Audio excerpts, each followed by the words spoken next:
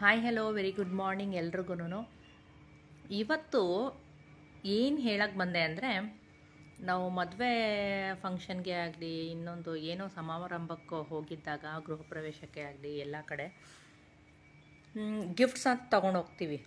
ಅಂದರೆ ನಾ ಯೂಶ್ವಲಿ ಅದರಾಗ ಯಾವುದು ಗಿಫ್ಟ್ಸ್ ಕೊಡೋದಿಲ್ಲ. ಕೊಟ್ಟರೆ ಮೊಯ್ಯಿ ಅಂತ ಹೇಳಿ ಕವರ್ನಲ್ಲಿ ಹಣ ಹಾಕಿನೇ ಕೊಡೋದು. ಈ ಫ್ರೆಂಡ್ಸ್ಗಳು ಮದುವೆಗೆ ಹೋದರೆ ಗಿಫ್ಟ್ಸ್ ಕೊಡೋದು ಓಕೆ, ಒಂದು ರೇಂಜು ಬಟ್ ಇದೇನೋ ರಿಲೇಷನ್ಸ್ ಮನೆಗೆ ಹೋದಾಗ ಅವ್ರ ಮನೆ ಫಂಕ್ಷನ್ಸ್ಗಳಲ್ಲಿ ನಾವು ಇದ್ಯಾವುದೋ ಗಡಿಯಾರ ಆಗಲಿ ಈ ಫೋಟೋ ಫ್ರೇಮ್ಸು ಮತ್ತು ಶೋಕೇಸ್ನಲ್ಲಿಡೋ ಅಂಥ ಸಣ್ಣ ಪುಟ್ಟ ಬೊಂಬೆಗಳು ಅಂಥವೆಲ್ಲ ಕೊಟ್ಟರೆ ಏನಾದರೂ ಯೂಸ್ ಆಗುತ್ತಾ? ನನಗಂತೂ ಗೊತ್ತಿಲ್ಲ. ಏಕೆಂದರೆ ಅದನ್ನ ನೀವು ಯೋಚನೆ ಮಾಡಬೇಕು, ಕೊಡ್, ಕೊಡಬೇಕು ಅಂತ ಅಂದ್ಕೊಂಡಿದ್ದವ್ರು ಯೋಚನೆ ಮಾಡಬೇಕಾಗಿರೋವಂಥ ವಿಷಯ. ಎಲ್ರೂ ನಾ ಗಿಫ್ಟ್ಸು ಅಂತ ಅಂದ್ಬಿಟ್ಟು ಅಂಥವು ಇಂಥವು ಶೋಕೇಸ್ ಸಾಮಾನುಗಳು ಕೊಟ್ಟರೆ ಅವ್ರು ಎಲ್ಲಿ ಮಡ್ಕೊತಾರೆ? ಈ ಸ್ವಂತ ಮನೆ ಆದರೆ ಓಕೆ, ಬಾಡಿಗೆ ಮನೆಯವ್ರು ಎಲ್ಲಿ ಮಾಡ್ಕೊತಾರೆ?